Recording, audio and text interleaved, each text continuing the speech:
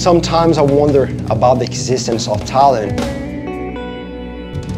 Because a musician's journey goes beyond talent. It's a blend of dedication, continuous study, and daily persistence. It's the only way to find our own creative potential.